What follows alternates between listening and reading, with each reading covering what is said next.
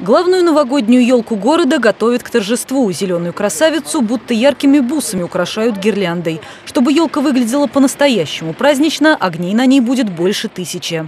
Гирлянда протяженностью не считали, если честно. 1250 лампочек. Над украшением ели трудится сразу 8 человек. После того, как повесят гирлянду и 28 больших свечей, на ветвях появится 600 новогодних игрушек. Шары традиционные, красивые, красные шары, золотые, синие. Хоть снегом зима в этом году не радует, самарцы все равно ждут праздника. У нас любая елочка с огоньками, она радует, и детишек тоже радует. Мы гуляем здесь практически каждый день, и на Новый год, конечно, будем гулять.